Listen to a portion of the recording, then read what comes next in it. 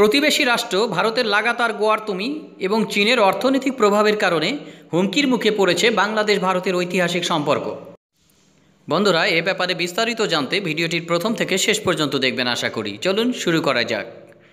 বাংলাদেশের সাথে এককালে সুসম্পর্ককে সুসংহত করার জন্য সাম্প্রতিক সপ্তাহগুলোতে প্রচেষ্টা জোরদার করেছে ভারত। দক্ষিণ এশিয়ার এই দুটি দেশের সম্পর্ক কিছুটা ঘোলাটে হয়ে পড়ার কারণে চীনের সাথে বাংলাদেশের সম্পর্কের দরজা খুলতে শুরু করেছে। ঢাকায় নিযুক্ত ভারতের বিদায়ী হাইকমিশনার রিবা গাঙ্গুলি অনেক চেষ্টার পরও প্রধানমন্ত্রীর সাথে সাক্ষাৎ করতে পারেননি। তবে এ পর্যন্ত মাত্র তিনজন মন্ত্রীর সাথে দেখা করতে পেরেছেন তিনি।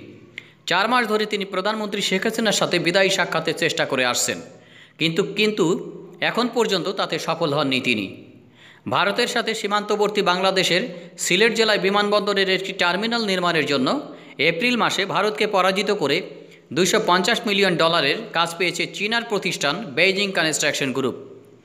এই চুক্তি নয়াদিল্লিতে সতর্ক সংকেত দিয়েছে বলে জানা গেছে। জুন মাসে চীনের সাথে বাংলাদেশের সম্পর্কের বড় ধরনের অগ্রগতি হয়। সে সময় বাংলাদেশের সাতানব্বই পার্সেন্ট পণ্যের জন্য নিজেদের বাজার খুলে দেয় চীন।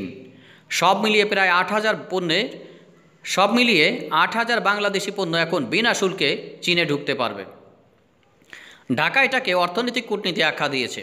কিন্তু চীনের অর্থনৈতিক প্রভাব বাড়ার কারণে ভারতের সাথে বহু পুরনো সম্পর্কের উপর এর কালো ছায়া পড়তে শুরু করেছে।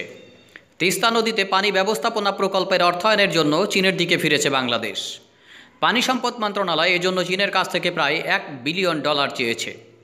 ভারতের পশ্চিমবঙ্গ রাজ্যের অব্যাহত বিরোধিতার কারণে আট বছর ধরে এই নদীর পানি বন্টন চুক্তির বিষয়টি ঝুলে আছে।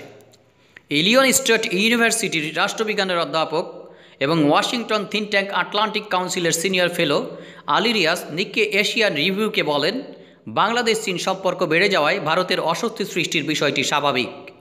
তিনি অনুমান করেন যে, বাংলাদেশে চীনের ক্রমবর্ধমান বাণিজ্য এবং বিনিয়োগ বাড়তে থাকায় ভারতের প্রভাব এখানে মারাত্মকভাবে ব্যাহত হবে, যেটা এখন নড়বড়ে হয়ে রয়েছে। রিয়াজ ঢাকাকে সতর্ক করে দেন যাতে ঢাকা দুই আঞ্চলিক শক্তির প্রক্ষি যুদ্ধের ক্ষেত্রে পরিণত না হয়। ভারতের সাথে সম্পর্ক তিক্ত হওয়ার পিছনে একটি বড় কারণ হল, গত বছর ভারতের সিটিজেনশিপ অ্যামেন্ডমেন্ট অ্যাক্ট পাস। এই আইনের মাধ্যমে আফগানিস্তান, বাংলাদেশ ও পাকিস্তান থেকে আসা অমুসলিম অভিবাসীদেরকে দ্রুত দ্রুত নাগরিকত্ব দেওয়ার বিধান করা হয়েছে। এই আইনকে অপ্রয়োজনীয় হিসেবে মন্তব্য করেছিলেন বাংলাদেশের প্রধানমন্ত্রী শেখ হাসিনা। এমন সময় এই আইন করা হয় যখন আসামে নাগরিকদের তালিকা তৈরি করা হয়েছে। এ আইন তৈরির ফলে ভারতের উত্তর পূর্বাঞ্চলীয় রাজ্যগুলো থেকে মুসলিম অভিবাসীদের বাংলাদেশে প্রবেশের আশঙ্কা তৈরি হয়েছে। ঢাকা দুটো পদক্ষেপকেই জোরালোভাবে প্রত্যাখ্যান করে এবং বেশ কিছু মন্ত্রীর ভারত সফরকে বাতিল করে। এখানে একটি বিষয় অত্যন্ত গুরুত্বপূর্ণ যে, চীনের বেল্ট অ্যান্ড রোড ইনিশিয়েটিভ প্রজেক্টের অত্যন্ত গুরুত্বপূর্ণ অংশীদার হচ্ছে বাংলাদেশ। অর্থাৎ ভারতের বিজেপি শাসিত মৌলবাদী সরকারের যখন ঘুম ভাঙে ততদিনে বাংলাদেশ এবং চায়নার অর্থনৈতিক এবং রাজনৈতিক সম্পর্ক অনেক দূরে গিয়ে গেছে। এখন দেখা যাক ভারত কীভাবে তার বাংলাদেশের সাথে হারানো সম্পর্ক পুনরুদ্ধারে অগ্রসর হয়। বন্ধুরা, ভিডিওটি শেষ পর্যন্ত দেখার জন্য ধন্যবাদ। আশা করি যে এই ধরনের বিশ্লেষণ পেতে আমাদের চ্যানেলটি সাবস্ক্রাইব করে আমাদের সাথে থাকবেন এবং পাশে থাকা বেল আইকনটি চেপে দেবেন।